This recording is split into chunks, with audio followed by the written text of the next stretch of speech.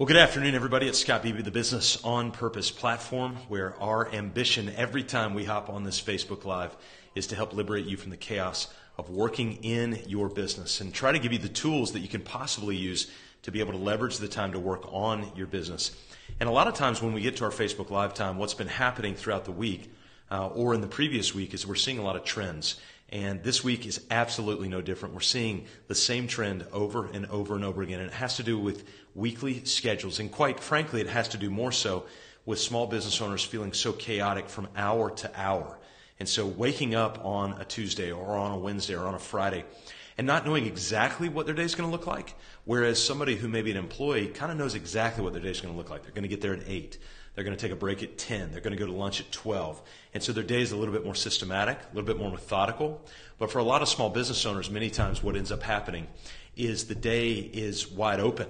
And what do I do with a wide open day? And so while on the outside that looks like freedom, it can actually be a prison uh, for many uh, small business owners. And so I wanted to show you a tool real quick that I thought might be helpful for you when you're trying to think through and get out of that habit of just having a wide open day in front of you and instead to leverage that to drill down and to start to use that to actually do uh, work on the business rather, rather than spending so much time working in the business. And so it's a technique, it's a tool that we use. It is not going to blow your mind. I'm going to go ahead and let you know that up front.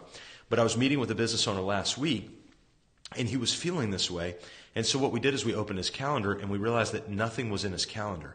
Yeah, there were a couple things like a doctor's appointment and something else here, but then it was just all blank space.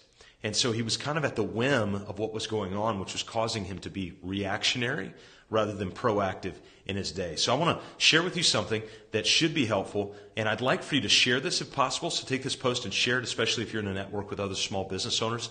Feel free to share it, but I want to show you a tool that will allow you to be proactive in your day rather than being so reactive. You know, you might say, I feel like I'm so if you look on here, you're going to think, my goodness, Scott, it's just a spreadsheet. Remember, I told you your mind's not going to be blown.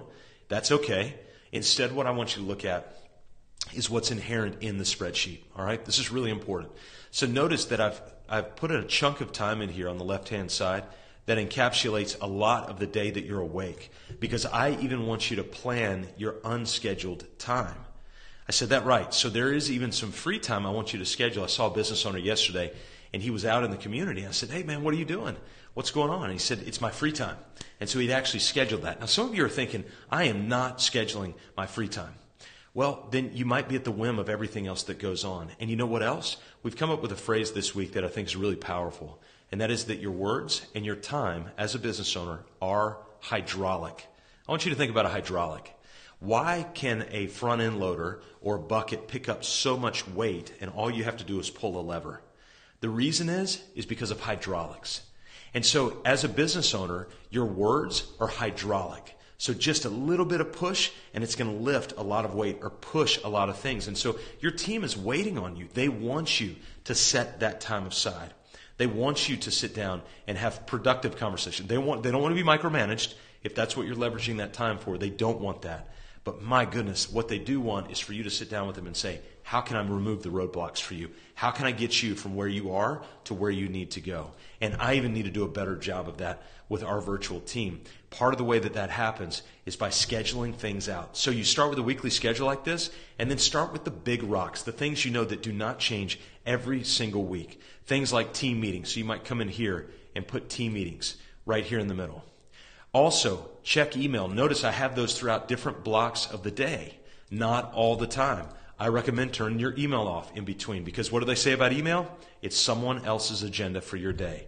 That's what a lot of unscheduled phone calls are, and we're allowing all these impulses to come in and we're not setting time aside.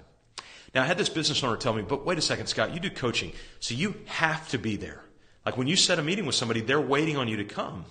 And I said, number one, no, I don't have to be there. If I want to eat, I have to be there, right? If I want to continue in business, I have to be there. But I don't have to be there. I while there may not be another human being in the building when you're doing business owner work, there are other people that are depending on you to know the forecast of your business, to know the trends, the ups, the downs, the peaks, the valleys, etc., to think through uh, sourcing, shipping, to think through bookkeeping, all of those macro things, then trickle down to the individual roles in your business so that you can uh, so that they can start living out their role with greater clarity. So here's what I want to challenge you to do. And my guess is statistically you're going to buck against this. That's okay. It's hard work. This is the type of work that it takes to work on your business and not in your business. But I promise you, if you do this, it'll give you so much more value going forward, and you will get to the end of the week actually looking forward to the next week.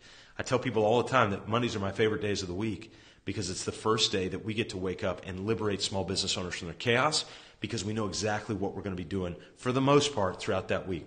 Are there times that are uh, chaotic? Are there times that I don't plan and schedule? Of course there are.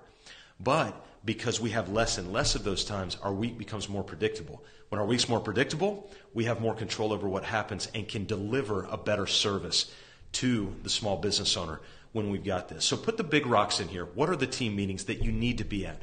What are the times that you need to be spending on your business?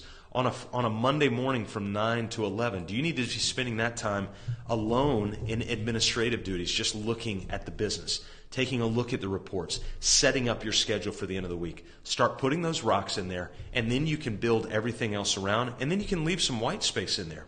Leave it open for some times that you feel the freedom just to have a little bit of free time. Hey, listen, I hope that helps. I hope you understand a little bit about why a weekly schedule is so crucially important. If you talk to a lot of the small business owners who have been through the four steps to business freedom, they will totally get it, and they'll start to uh, they'll start to kind of sell you on the idea of weekly schedule because they bought into it and they've realized how transformative uh, that it really can be. Hey, make sure when you get a chance, go right here to mybusinessonpurpose.com forward slash guide. We've got a free guide in there for you to be able to audit your business, where you're at right now, and answer the question Am I spending more time working in my business or am I spending more time working on my business? So just go to mybusinessonpurpose.com forward slash guide right there, and, uh, and you can check that out. It's our delight to be able to share it with you. So, by the way, if this is a new Facebook Live, just go back to the last post. My streaming got cut off and uh, should be good to go. Thanks for joining me.